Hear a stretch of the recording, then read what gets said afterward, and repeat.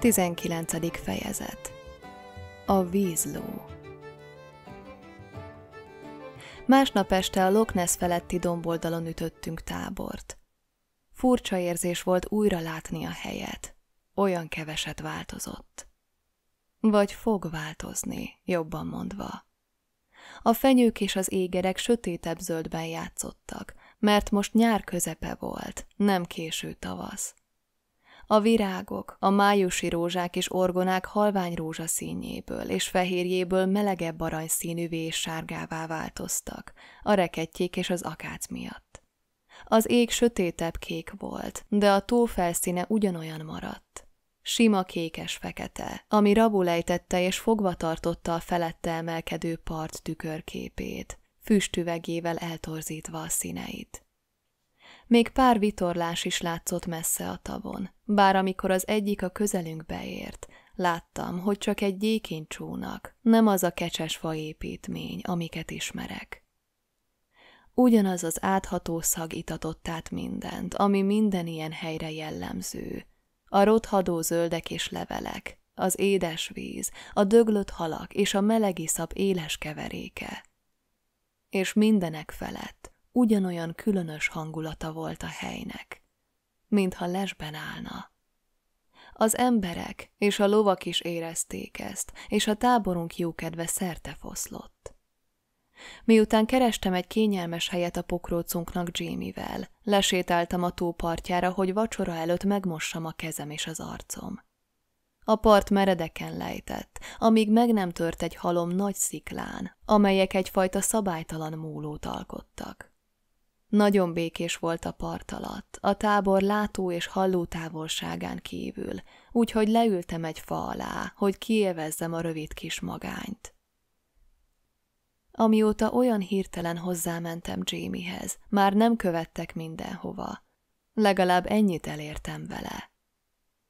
Szórakozottan szedegettem szárnyas terméseket egy fa alacsonyan kinyúló ágáról, és dobáltam a vízbe, amikor észrevettem, hogy egyre erősebbé válnak a parti hullámok, mintha szél fújná őket. Egy nagy, lapos fej bukkant fel a vízben, nem egészen három méterre tőlem.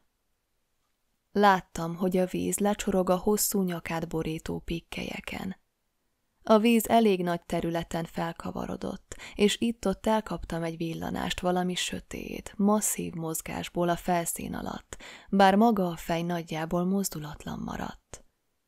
Én sem mozdultam. Furcsa módon nem féltem igazán.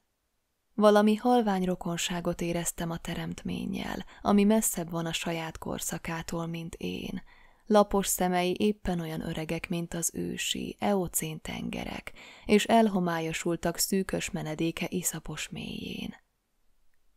És valami miatt éppen olyan ismerős volt, mint amilyen hihetetlen. Csuszamlós bőre mélykék színben játszott, az álla alatt élénkzöldes csillogással, furcsa, pupillátlan szeme pedig mély és lángoló borostyán színben tündökölt. Gyönyörű volt és nagyon különbözött attól a kisebb, sárszínű másától, ami a British Múzeum ötödik emeleti élőképét díszítette emlékeim szerint.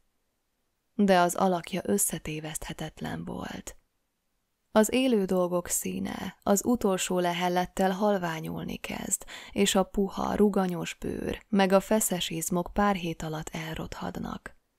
De a csontok néha megmaradnak a testforma hű visszhangjául, hogy az elmúlt dicsőségek utolsó tanújaként szolgáljanak. A szelepes orjukak hirtelen kitágultak, és ijesztő sziszenéssel fújták ki a levegőt. Egy pillanatnyi mozdulatlanság után a teremtmény ismét lebukott, és csak a körben fodrozódó hullámok árulkodtak arról, hogy ott járt. Amikor megjelent, valószínűleg tudattalanul is közelebb sétáltam, hogy megnézzem, mert az egyik szélső sziklán találtam magam, ami a vízbe szaladt, és onnan néztem, hogy halnak el a hullámok a tó felszínén. Egy pillanatig csak álltam ott, és a feneketlen tavat bámultam. Isten veled, mondtam végül az üres víznek. Megráztam magam, és visszafordultam a part felé. Egy férfi állt az emelkedő tetején. Először megijedtem, majd felismertem benne az egyik kocsisunkat. Peternek hívják, idéztem fel, és a kezében tartott vödör indokolta a jelenlétét. Majdnem megkérdeztem, látta-e a szörnyeteget, de amikor mellé értem, elég volt egy pillantást vetnem az arcára, hogy választ kapjak. Sápadtabb volt, mint a lábánál lévő margaréták, és apró izzadságcseppek csorogtak végig a szakállán. A szeme csupa fehér volt, mint egy rémült lóé, és úgy remegett a keze, hogy a vödör a lábát csapkodta. Semmi baj, mondtam, amikor mellé értem. Már elment. Ahelyett, hogy ettől megnyugodott volna, a kocsis még jobban megrémült. Elejtette a vödröt, térdre rogyott előttem, és keresztet vetett. – Könyörüljön rajtam, hölgyem! – dadogta. Utána elképedésemre hasra vetette magát, és a ruhám szegélyét kezdte markolászni. Ne legyen nevetséges, mondtam kicsit nyersen. Keljen fel! Gyengéden megbököttem a lábujjammal, de ettől csak megremegett, és továbbra is a földhöz tapadt, mint egy kilapított gomba. Keljen fel! Ismételtem meg. Maga ostoba, ez csak egy... Elhallgattam, és gondolkodóba estem. A latin neve valószínűleg nem segít. Csak egy kis szörnyeteg, mondtam végül, és a férfi kezét megragadva talpra rántottam. Nekem kellett megtöltenem a vödröt, mert ő érthető módon nem volt hajlandó a víz közelébe menni. Követett vissza a táborba, megtartva a biztos távolságot, és azonnal elrohant, hogy ellássa az összféreit szemrehányó pillantásokat vetve rám a válla felett.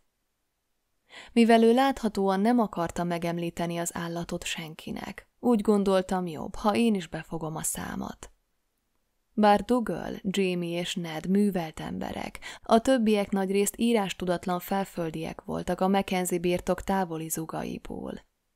Bátran csatába indultak, és ügyes harcosok voltak, ugyanakkor éppen olyan babonásak, mint bármelyik primitív törzs tagjai Afrikában vagy a közel-keleten. Úgyhogy csendben fogyasztottam el a vacsorámat, majd feküdtem le aludni, végig magamon érezve Peter kocsis gyanakvó pillantását.